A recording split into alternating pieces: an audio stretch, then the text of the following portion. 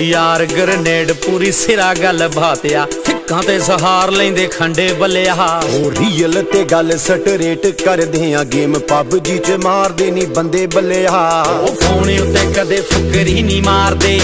ਸਾਹਮਣੇ ਖਲੋ ਕੇ ਪੁੱਤ ਬਿੱਲ ਪਾਈ ਦੇ।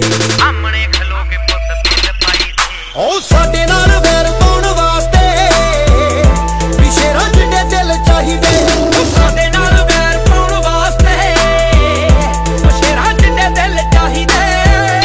ਓਏ ਬੱਲਿਆ।